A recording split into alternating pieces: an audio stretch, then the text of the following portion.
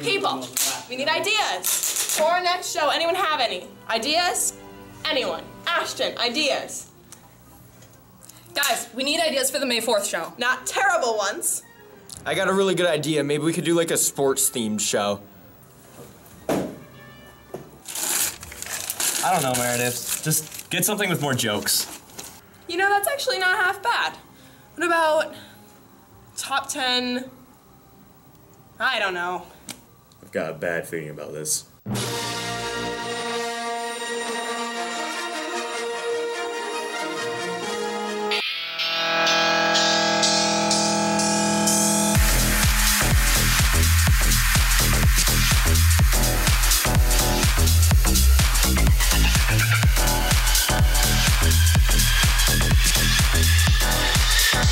Hey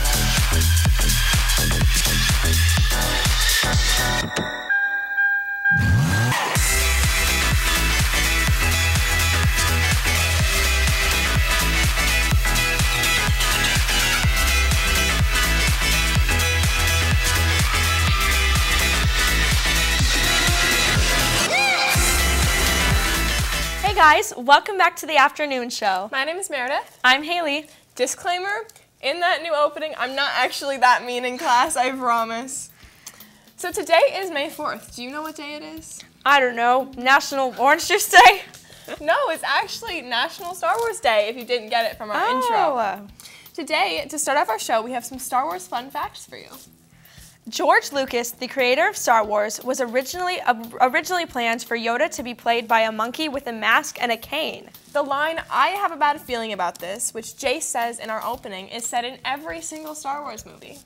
David Prowse, the guy who plays Darth Vader in form, not voice, is banned from attending official Star Wars events because George Lucas finds him annoying. Now, for a quick announcement about our FHS blood drive. Yes. NHS is holding a blood drive May 12th. And we have a QR code here for you guys I'm to being scan. cut off, but scan the QR code really Yeah. quick. You have a few seconds, get it done, and donate blood or sign up for the blood drive if you're an NHS. Yep. All right. I'll take it away now. Now for some announcements. Juniors and seniors, prom is this weekend on Saturday from 8 to 12. Make sure to bring your student ID and arrive before 9, as 9 is the final required entry time. Also, for those of you choosing to wear heels, feel free to bring a pair of more comfortable shoes because going without shoes is not allowed in the US Bank Stadium. AP exams are this week and the next, so remember to keep up to date with your My AP account and check Schoology so you don't miss your testing day. This Monday, May 2nd, was College Decision Day, and one of our team members, Leo, went around and filmed some clips for Monday. Let's check it out. Decision day. Some seniors are wearing college gear um, to see where they've committed to go to college. So, could you explain what we're celebrating today? I would be happy to, yes. I'm Miss Walker from the counseling department, and we're down here today celebrating our seniors who are making their post-secondary plans. And today is the big day where where students uh, we're asking that they make their decision on what they want to do next year. And for if they're going on to a four-year college or a technical community college, or if they're going to be going into the workforce, entering the military. We're celebrating all our seniors today. We're so excited for them. And seniors, if you aren't sure and you still would like some help kind of figuring out your next plans, if you want to take a gap year, whatever you're thinking, come to the counseling office and we will be more than happy to help you. Yay, seniors! So, that sounds like a fun day for seniors. They're wearing all their college gear, they get cupcakes and stuff, and I'm going to send it back to the desk. Thanks, guys. Yeah, congrats on all your post-secondary plans. Yeah, that's great for everyone. Now we're gonna throw it over to Will for a special top 10. Oh, well,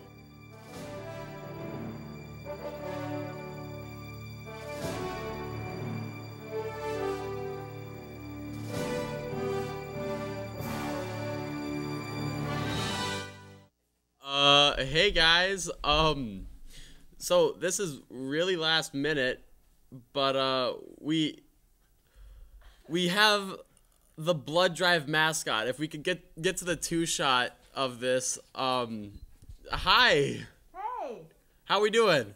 I'm doing great, saving lives. All right. Is there anything you want to say about the blood drive? I mean, you get to save lives, you get to miss class, and you get to hang out with me, Buddy the Blood Drop.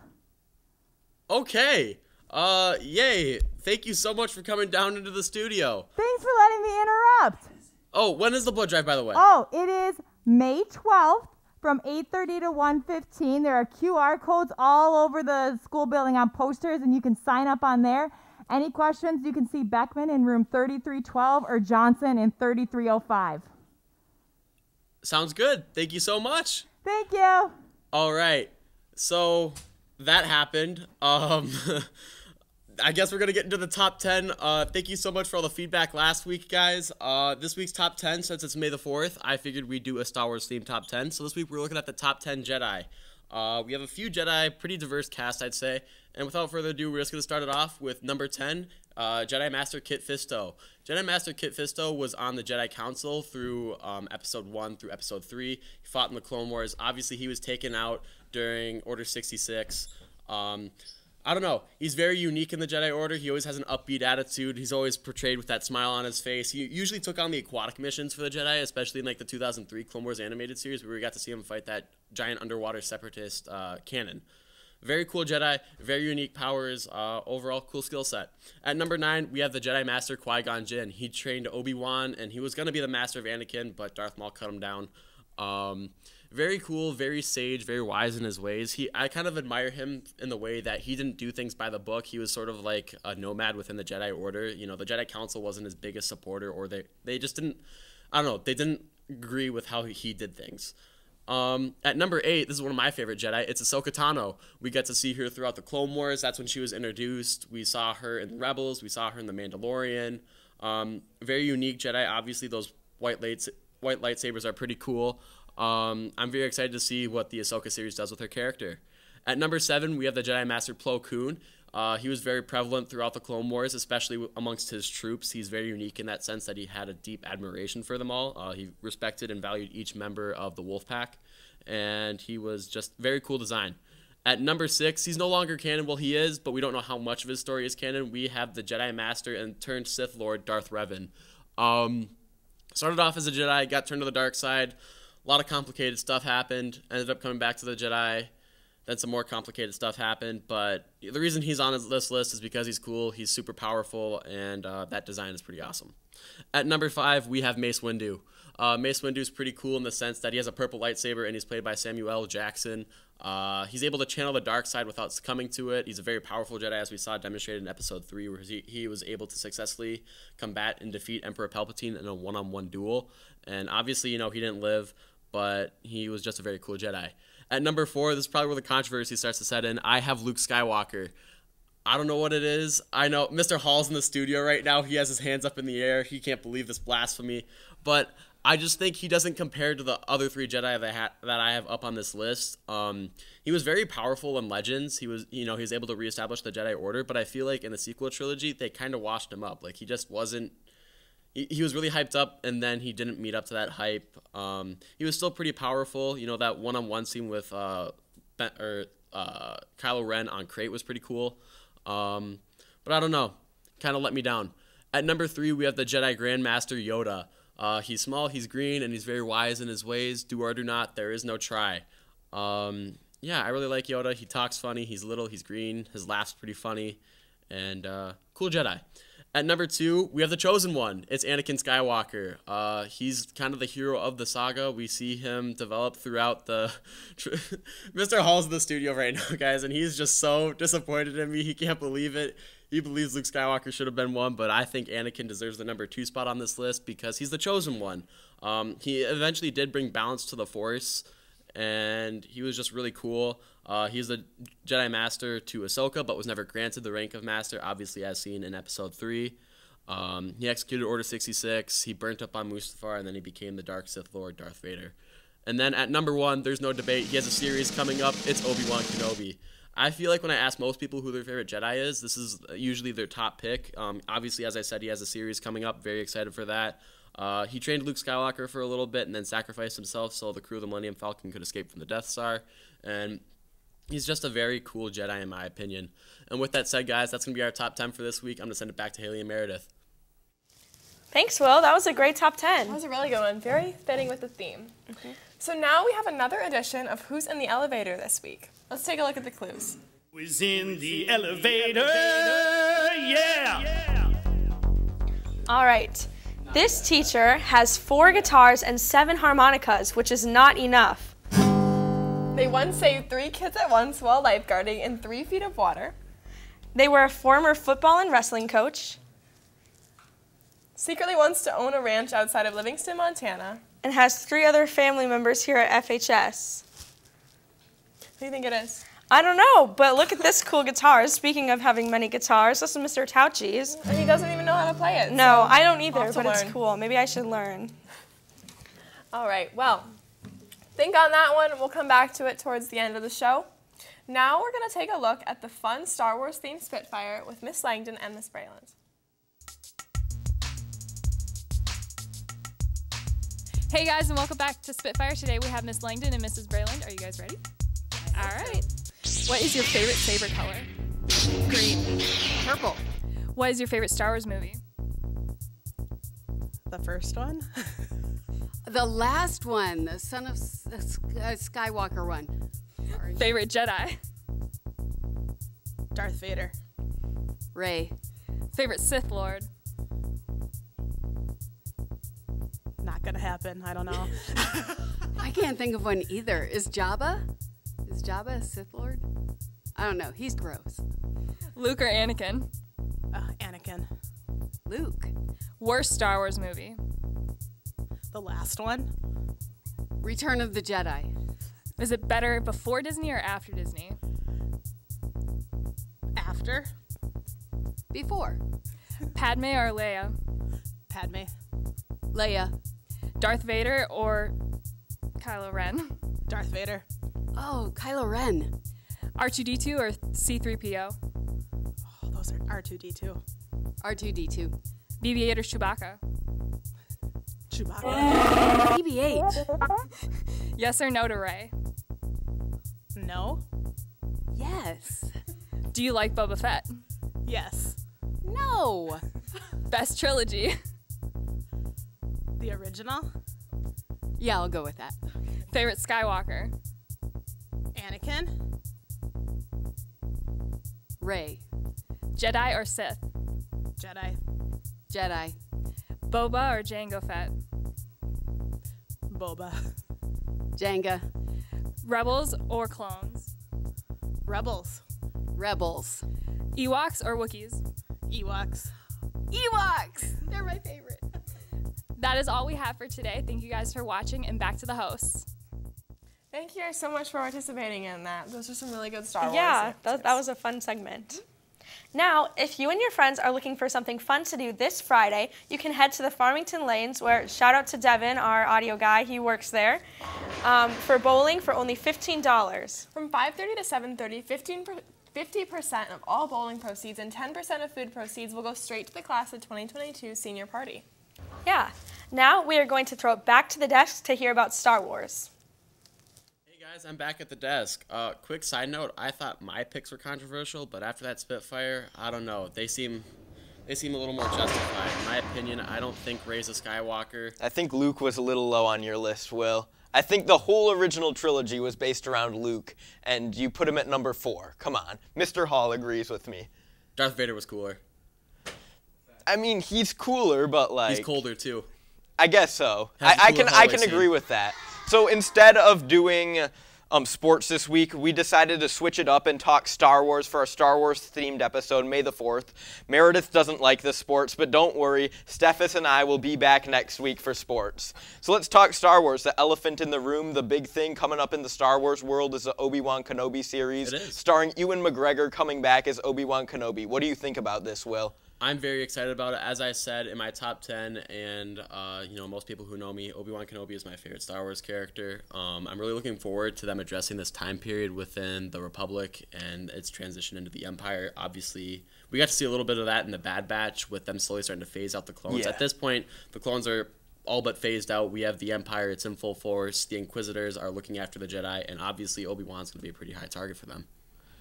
Yeah, the only other thing, the only complaint that I have about the trailer so far, other than the Grand Inquisitor thing, is that they didn't age Obi-Wan enough. But I do think he does look a lot like Ewan McGregor in the thing because I sent a I sent a picture of it of Ewan McGregor in the trailer next to Alec Guinness as mm-hmm. Obi-Wan.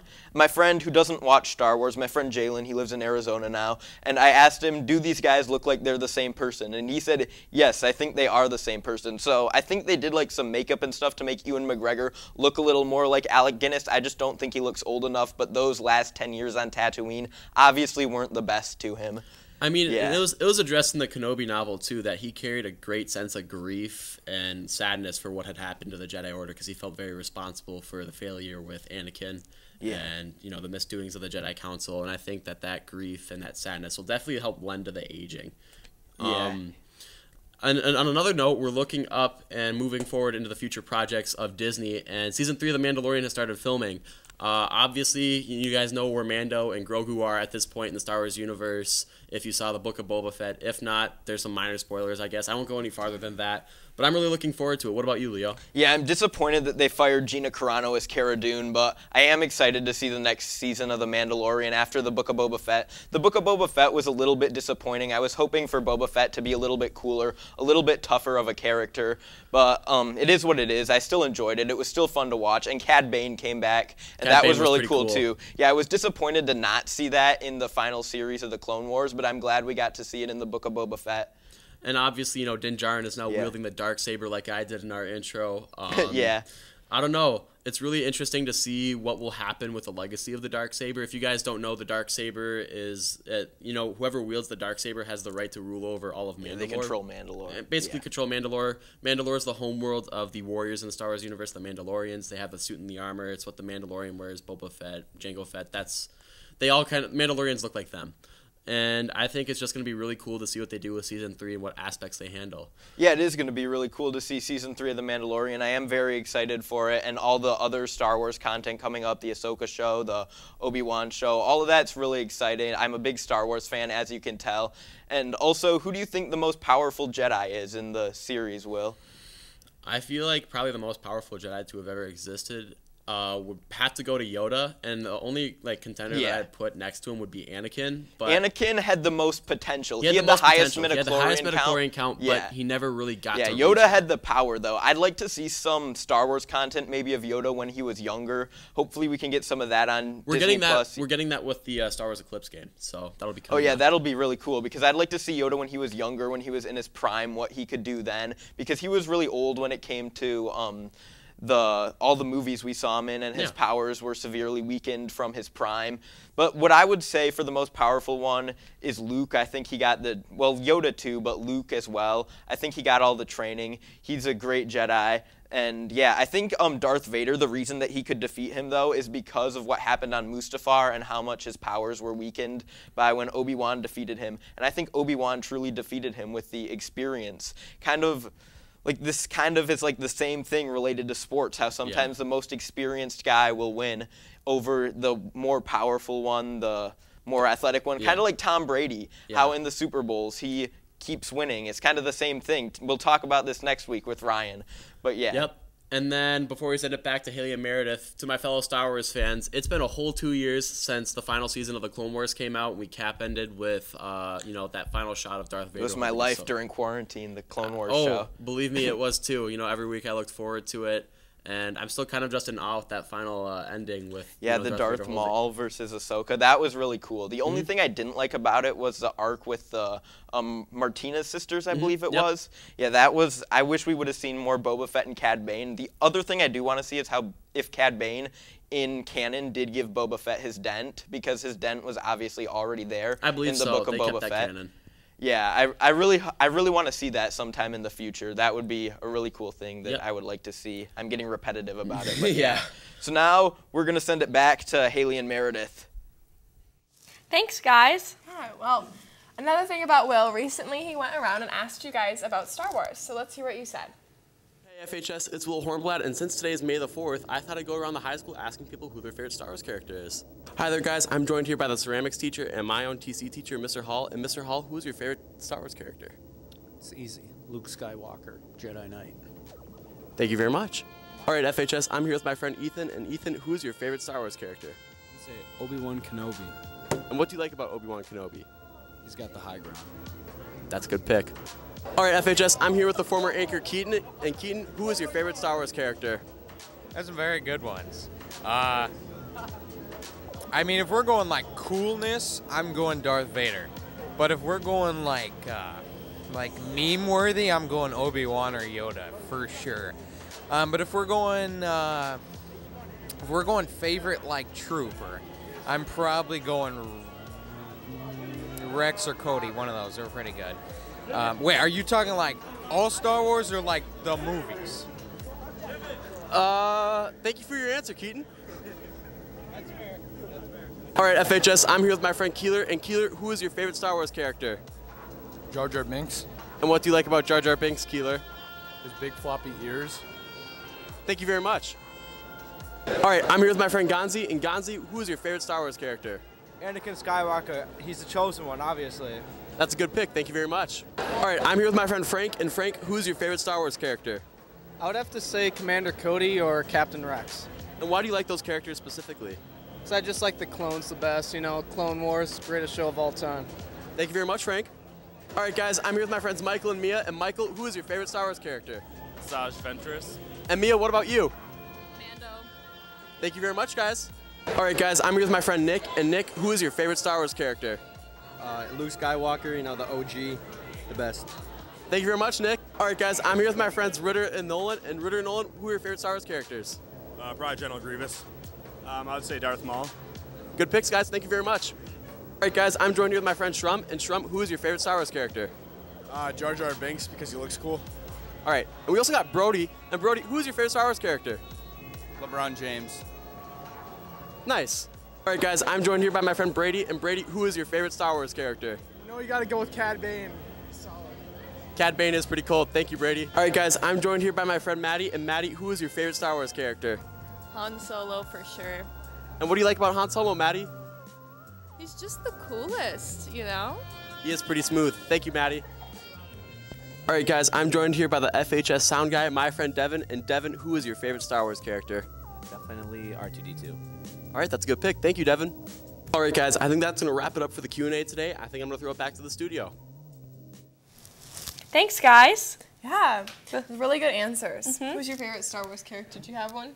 Uh, all of them. There's too many good ones to choose, right? Right. Yeah. Now we're gonna throw it over to Will for the weather. Hey guys, I'm back with weather, weather with Will. But before we get into weather, you guys know the drill by now. We got to get the quote of the of the week out of the way. And this week's quote of the week is: "Don't let a couple of tough chapters ruin the rest of your story." Uh, I think it's pretty self-explanatory. I think that sometimes we have a tendency to let the current affect the way we look at the future, and sometimes we have a lot going on, and that can kind of tamper with and affect how we want to look towards things but I believe that each and every one of us has the capability and the resilience to move through these problems and solve them. You're never alone in your endeavors. You have family, you have friends, you have pets, you have farmer who's down in the studio sometimes, but he's not here today, and I'm kind of sad about it. Uh, and yeah, with that said, we're going to move on to the weather forecast for the week. Uh, today, we're looking at, oh, I'm stepping in the wrong direction again. I always do it, guys. We're looking at a high of 61 and a low of 38 with mostly cloud coverage today. Tomorrow, for the track meet at, I believe it's Rosemount, uh, we're looking at a high of 60 and a low of 34, some more cloud coverage, so it should be pretty optimal. Nobody should be overheating, I guess. And then as we move into the weekend, on Friday, we're looking at a high of 62. I'm going to move back a little bit more. I'm off frame now. High of 62, low of 46. On Saturday, it's prom day, guys. We're looking at a high of 65 with sun and a low of 45. And then for Mother's Day, things kind of fall off the rails again. We're looking at a high of 65 and a low of 50 with some rain. With that said, guys, that's going to be your weather for the week. I'm going to throw over, over to Haley Meredith. Thanks, Will. Yeah, I'm good weather. I'm really hoping that Saturday for prom is going to be mm-hmm, nice weather. Especially for photos. Yeah. All right, well, it's time to find out exactly who's in the elevator this week. All right, to recap the clues, this teacher has four guitars and seven harmonicas, which is not enough. One saved three kids at once while lifeguarding in three feet of water. Was a former football and wrestling coach. Secretly wants to own a ranch outside in Livingston, Montana. And I don't remember the last one. Oh, it's, It's Mr. Mr. Lund. That's a good one. I never would have guessed that one. But I guess he does have Yeah. his daughter and stuff is here. Mm-hmm. Yeah. Well, hold on. It's It's moving. We don't know what's well, happening. Now we are going to throw it back over to Will and. Um, no, wrong. Oh, just kidding. This week is Teacher Appreciation Week. Today was Dress Like a Teacher. Tomorrow is Thank a Teacher. And Friday is Write a Teacher a Thank You Note. So be on the lookout for paper in the cafeteria during lunch on Friday. And no matter the week or not, always remember to say thank you to your teachers. Yes. Thanks, Mr. Tauchi. Thank you. Now, for the last segment of our show, we are going over to the desk one last time to play some Star Wars trivia, and you guys can feel free to play along with us. Hey guys, I'm back at the desk, and we're gonna do one final Star Wars related segment. In the studio, I am joined by my t- own very own TC teacher, Mr. Hall, and one of his students from his fifth hour. Um, and we're gonna do a little bit of Star Wars trivia. Do you guys feel like you're pretty prepared for this? Sort of. Sort of. All right. What about you, Mr. Hall? I'm, I'm still kind of hurt about your top 10. Uh, I'll, I'll try. Oh, ooh, here, one sec. Let's throw the camera over to me. We gotta let Mr. Hall get his mic on real quick. Oh, he's got it. We're good. Okay, awesome. All right. With that said, we're gonna jump into the questions. All right. So our very first question is: In the Star Wars galaxy, there's an invisible force that binds the galaxy together. What is it called? The Force. Yeah. There we go. Uh, who is Luke and Leia's mother? Padme. Yep. Uh, how old is Yoda when he dies? I think 900. Yep. And who killed Han Solo? His son. His son. Yep, Kylo there we go. All right, that was pretty. Uh, that was thrown together pretty last minute. I'm sorry about that, guys, but thank you so much for playing. You two, uh, really appreciate it. Uh, thank you guys so much for tuning into this episode. May the fourth be with you, Haley and Meredith. Let's see what you got. How many did you Thanks. get right, Haley? Uh, uh, all none of them. I yeah. How many got, did you guys get right? Did you guys do well? Now, Student Council is holding an end of school year event titled Surf and Turf on May 20th, so mark your calendars. It will be held here at FHS from 7 p.m. to 10 p.m., and we will have food, yard games, and a movie. The movie hasn't quite been decided yet, so make sure you get to vote. Follow the Student Council on Instagram at Farmtown Studs and vote for the movie. The poll will be released on May 11th. If you'd be interested in helping to plan these kinds of events, consider joining Student Council. Applications come out tomorrow, May 5th, and close May 20th. The link will be posted on Schoology as well as on posters in the hall. If you have questions, feel free to reach out to Miss Fearing. And that's all for our show today. Have a great afternoon, and may the 4th be with you. We leave you today with highlights from the last Saturday's Choir Cabaret. Have a great day, Farmington. Heartbreak, and